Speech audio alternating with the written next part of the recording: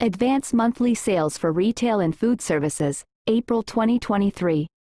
For release at 8:30 a.m. Eastern Daylight Saving Time, Tuesday, May 16, 2023. Notice of revision. Monthly retail sales estimates were revised on April 24, 2023 based on the results of the 2021 Annual Retail Trade Survey and the Service Annual Survey. The annual revision of monthly retail and food services showing revised estimates can be found on our website at https www.census.gov retail mrts historic underscore releases.html.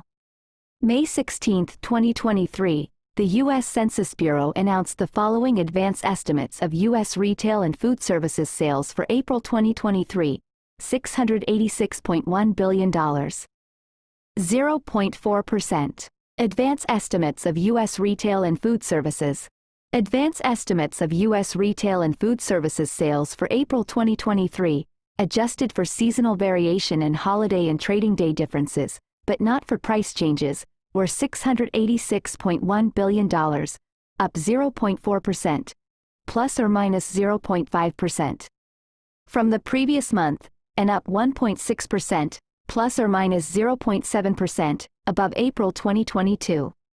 Total sales for the February 2023 through April 2023 period were up 3.1%, plus or minus 0.4%, from the same period a year ago. The February 2023 to March 2023 percent change was revised from down 0.6%, plus or minus 0.5%, to down 0.7%, plus or minus 0.2%.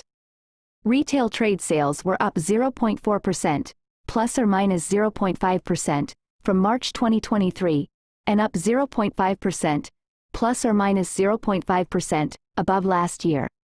Non-store retailers were up 8.0%, plus or minus 1.2%, from last year, while food services and drinking places were up 9.4%, plus or minus 2.5%, from April 2022.